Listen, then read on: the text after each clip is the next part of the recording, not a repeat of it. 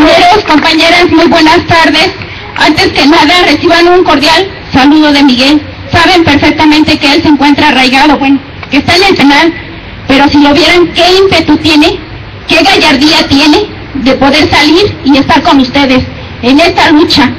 A continuación les daré algunas palabras que él me ha recomendado que yo se las exprese.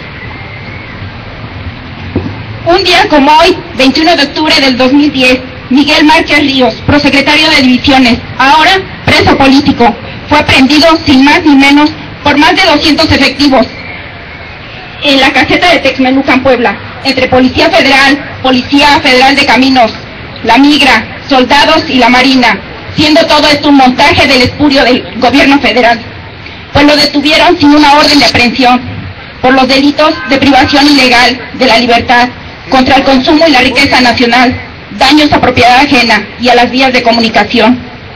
Si esto se les hace a un obrero o a muchos obreros por luchar, por respetar su fuente de trabajo, por ganarse un poquito de aquello que le ha costado, ¿qué se espera el pueblo en general?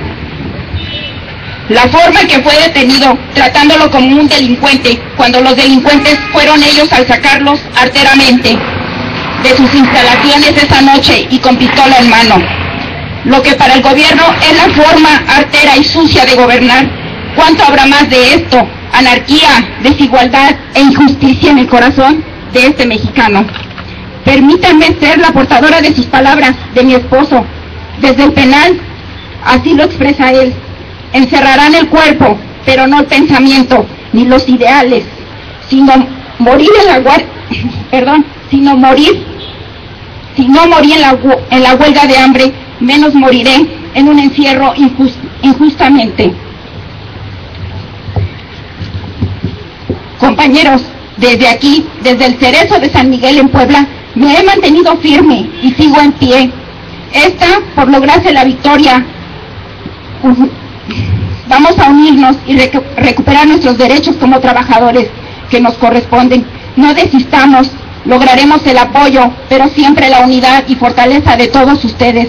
De antemano, agradezco su apoyo y solidaridad para con mi familia, para conmigo, al compañero Martínez Parza, al Comité Central, a mi familia, a mis padres, compañeros jubilados, activos, al pueblo en general y a todas las organizaciones que se han juntado en esta lucha.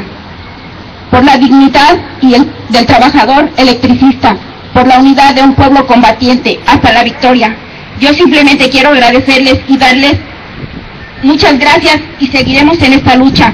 Todos tenemos que formar una fila. Adelante. Martín está sacando la casa junto con todos nosotros. No desistamos, compañeros. La victoria está cerca. Hasta la victoria.